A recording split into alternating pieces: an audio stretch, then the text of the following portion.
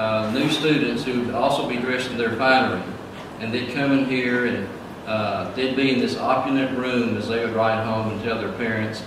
And they visited with their professors who were all dressed in tuxedos and evening gowns, and they couldn't believe that they were attending an institution like this.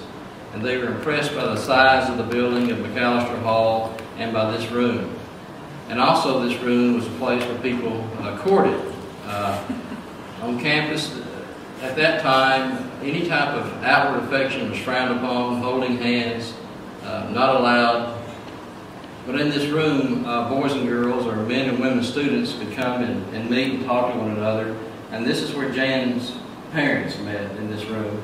Her mother played the piano, and her dad was here. And of course, he heard her. The piano used to be back there in the corner. She's a professor of journalism in UCA's Department of Mass Communication and Theater. She's written a book called If It Ain't Broke, Break It How Corporate Journalism Killed the Arkansas Gazette. And she's going to talk to us today about her book and maybe take a few questions from the crowd. So at this time, I'd like to